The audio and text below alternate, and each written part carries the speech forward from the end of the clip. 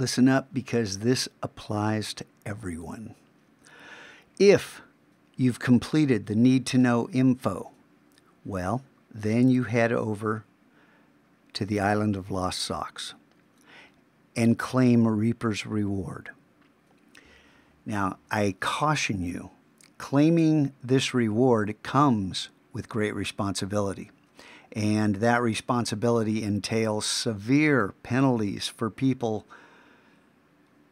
who haven't really earned it or who have earned it and then decide not to be worthy at some point.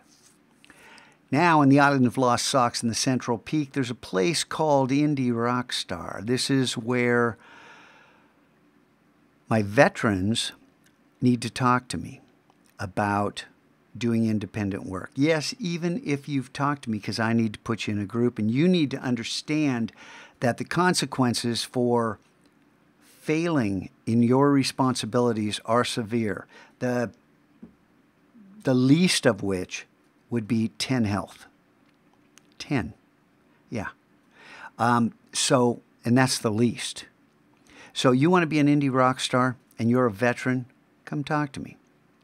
If you are a new student in here and you want to work on something because you are driven, you want to be an illustrator, an animator, you want to do something so badly you're willing to work hard at it.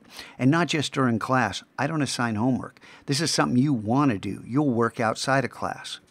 Not because you have to, because you want to. You want to be an indie rock star too? Talk to me. I need to put you in the clan. The only way to get to this quest is to be in the clan. I will add students there as they petition. But just understand that minimum 10 health penalty applies to you too.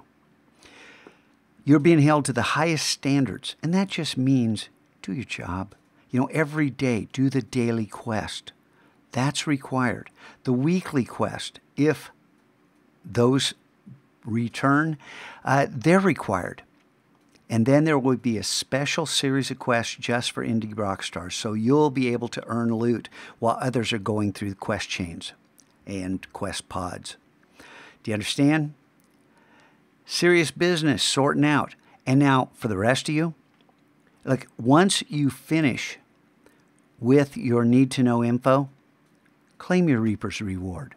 You're going to head over there. That's going to be on the board and it's going to tell you head over there, claim Reaper's reward and then continue working through the quest chains. If at some point you want to go indie,